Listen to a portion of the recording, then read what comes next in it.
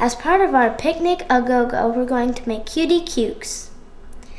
Now, what we need is chopped dough, cream cheese, salt and pepper, cucumbers, and whole wheat bread. Now, what we're going to do is mix up the dough and cream cheese.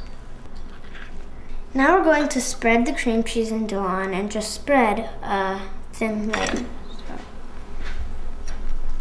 All right.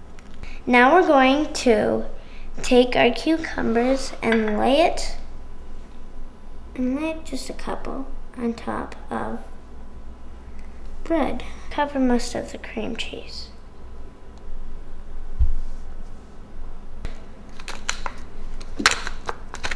Now we are going to fold up our bread. This is where the cutie part comes in.